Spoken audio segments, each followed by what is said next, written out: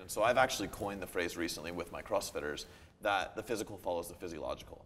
And a lot of what I work on is metabolic recovery, feeling better, and and those are all internal signs. Those are all: Are you hungry? Are you sleeping well? What's your energy like? Um, what's your hormone levels like? Um, what's your libido like? Right? All these things that are you can't get that from any visual. It's all internal. It's all physiological in nature. But until those things are fixed, nothing out here is going to get fixed. And if it is, it's very short lived. Very temporary. Yep. Absolutely. So, and that's what people don't understand. You got to heal the inside first. Um, that was the first thing. Um, and I don't even remember what the second thing was because it was so good. But um, oh, you talked about uh, the agriculture and people advertising. Yes. So much of what's talked about out there is money driven. It's all marketing driven. You know, if if milk farmers aren't selling a lot of milk, guess what you're going to see on TV?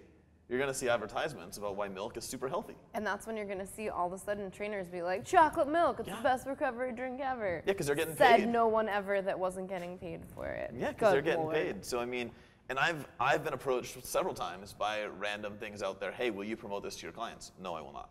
Um, you know, my ethics will come first. No paycheck is ever going to supersede that.